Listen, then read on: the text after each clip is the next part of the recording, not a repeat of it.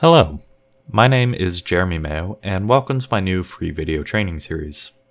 A bit about myself I'm an MFA candidate in lighting design at the University of Cincinnati, as well as a freelance designer, programmer, electrician, systems integrator, and lighting artist. I wanted to start making these videos because I noticed some topics I deal with a lot in lighting that people might be unfamiliar with or have trouble understanding. As always, these videos are free, though if you like the content, please consider donating via the links soon to come on my website. Today, we're going to be talking about connecting ETC Nomad to MA on PC and MA 3D. Now, you might be wondering why anybody might want to do this, especially with ETC about to release EOS 3.0, which includes the augmented visualizer natively. Admittedly, it's a limited case scenario, though it's an interesting exercise in networking and connecting systems together. And who knows, maybe you might have some touring show one day that needs to transfer consoles, and you might need to set up some sort of connection. So, some assumptions before we actually start the tutorial. We are on the Windows operating system. This can be set up on Mac as well with a couple of changes, though we're not going to be talking about those in this video. If you're on Mac and you're very, very curious and dying to learn about this, please just shoot me an email. I'll be happy to answer your questions. Of course, you need access to both the EOS Nomad software and MA on PC, as well as MA3D. For this video, we are working on Nomad version 2.9.1, Grand MA on PC version 3.8, and MA 3D version 3.8, all of which are current as of the release of this video. Now, before we get started with any of the actual lighting software, we're going to go ahead and need to set up some network properties on our computer. So the first thing we're going to do is open up the device manager in Windows. Now in Windows 10, the easiest way to do that is to go to the bottom left corner of your screen and right click on the Windows Start menu icon. Unfortunately, that's covered up by the, ban the banner on this video. But if you just right click down there and head to Device Manager, you'll get this window. Now this is just a manager Windows has to show every device on your computer. What we need to do is we're going to add a new network adapter. So we're going to go up to action, and sometimes these uh, take a while to populate, so we'll just give it a second to think.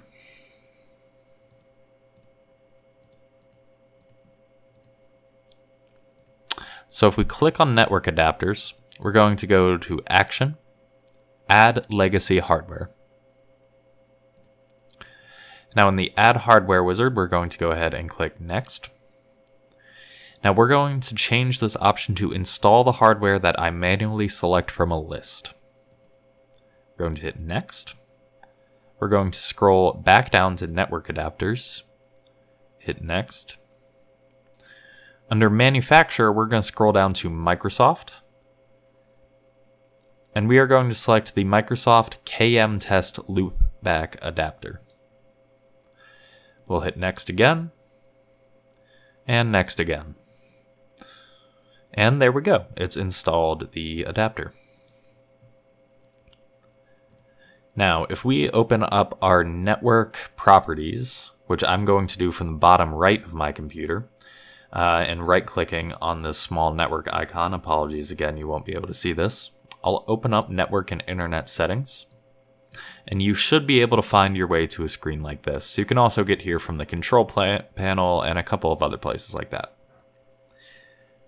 We're going to go to change adapter options. And now, if you see here, I have an option for Ethernet 2, which is the Microsoft KM Test Loopback adapter. I'm going to go ahead and rename this to loopback. And next, I'm going to right click again and go to properties. Now in this menu, we need to go to the IPv4 properties, Internet Protocol version 4, and we're going to hit properties again to get this screen. Now here, we, instead of obtaining an IP address automatically, we want to use the following IP. We want to change this to be 10.0.0.100 for the IP address, And subnet mask, we're going to use 255, 255, 2550. For default gateway, we'll do 10.0.0.1. And we'll go ahead and hit OK. We can close out of this.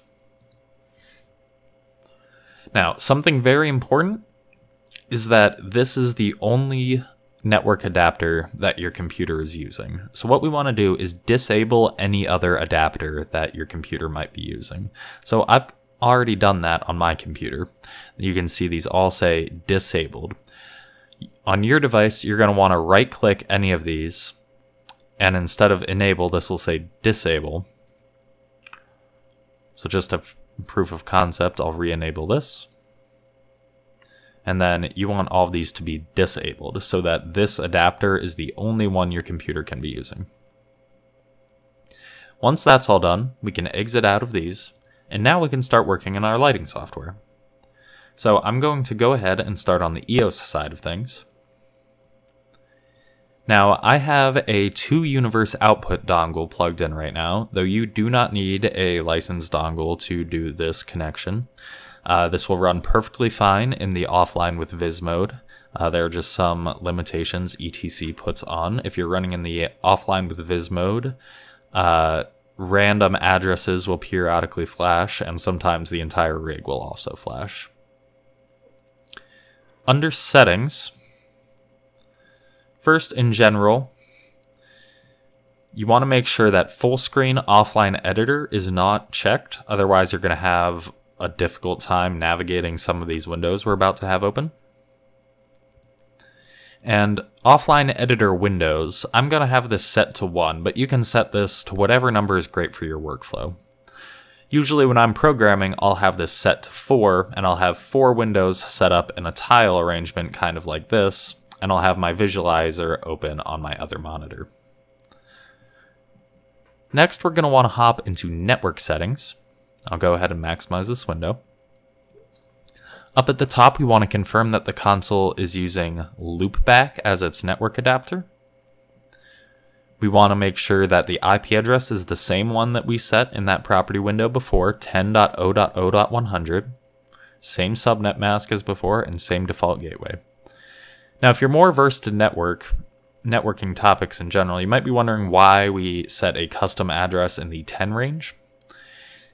That's actually very important as the MA software will not allow certain connections from certain IP ranges. I'm not entirely sure why, but if you try to use a different IP range, you're going to have difficulties making this work. Next, under output protocols, we're going to be using ArtNet for this connection. So we want to make sure that ArtNet is enabled on our loopback adapter, and we want to make sure it's one of the default protocols. It doesn't matter if you have additional protocols enabled as well, though we just want to make sure ArtNet is enabled as one of the default protocols. We want to make sure it's directed broadcast and we're starting at universe 0. Now, unless you have settings mixed up from some previous project, you shouldn't need to change any of these other options. You should have DHCP turned off for this. We want to make sure that we are 100% using a static IP and we should be good to go. So we'll accept these, and we'll go ahead and boot into the Nomad software. Now I'll create a new show. If you have a show already built, that's totally completely fine. Though for the purposes of this video, I'm going to just start with a fresh patch to show you guys what's happening. So in my new show file, I'm going to go ahead and patch just one fixture, I'll patch channel 1 as a Vari-Lite 3500 spot. And I'll patch that at address 1 slash 1. Now we are completely all set up on the EOS side. That's all we need to do. Now I'm going to hop over onto the MA side of things. So I'm going to go ahead and open up Grand MA on PC. I'm going to go ahead over to Setup. Under MA Network Control, we want to go ahead and create a new session. So before we create the session, we want to make sure that the station IP is going to be this same loopback IP that we set up, this 10.0.0.100. That's highlighted yellow, so that's correct. That's the one that's going to be used for our session.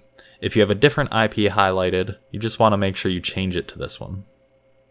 You're going to go ahead and create that session.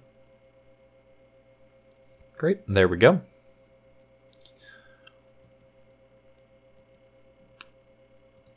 Actually, I apologize. I'm actually going to create a, a, new show just to completely make sure this is completely fresh for you guys.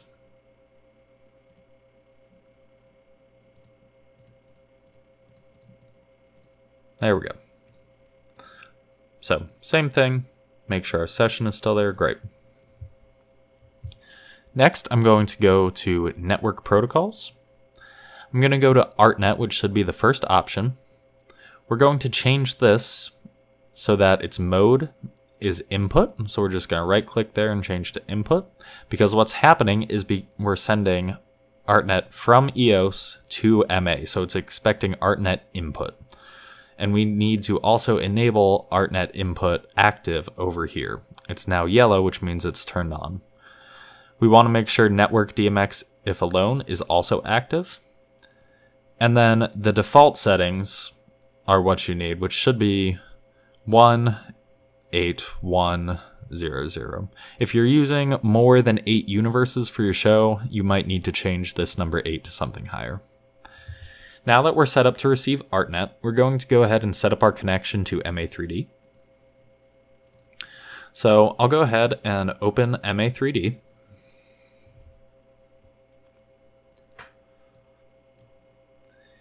And we want to make sure that this is looking for the same network settings that we're using for GrandMA2 on PC. So we're going to go to File, Settings, Network, and conveniently, we're already using that correct IP. If this is set to something other than 10.0.0.100, you want to make sure you change it to this so that we can make a connection. We're going to go ahead and hit OK.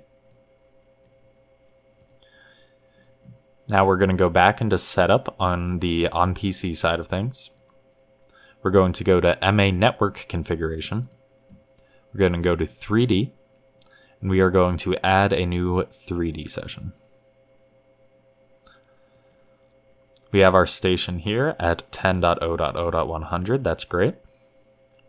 Hostname will be the name of your computer. Mine happens to be Darkstar.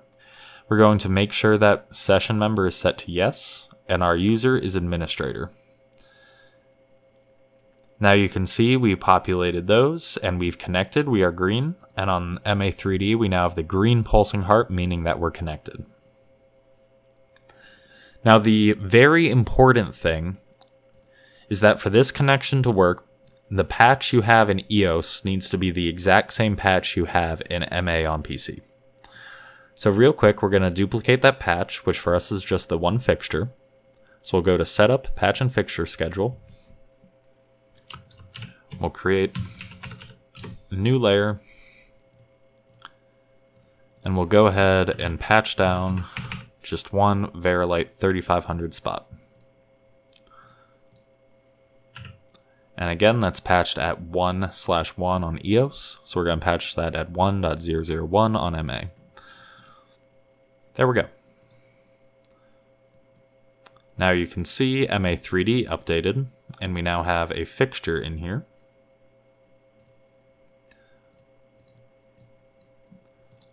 There we go. Drag that up so we can see it. Great. Now, the last thing that we need to do for this connection to work is that we need to type a command in GrandMA2 on PC to disable any control that this is having. So we're going to type park dmx universe 1 at 0. Now we confirm that that worked by just opening a new screen, taking a look at the DMX sheet, and we can see these are all now parked.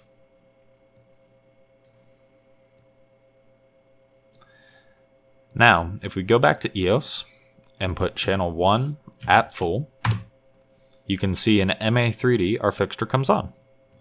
And there you have it. We have a complete connection between ETC Nomad and MA on 3D. So we have full pan and tilt control, confirming. We have color control. And we are all set to go.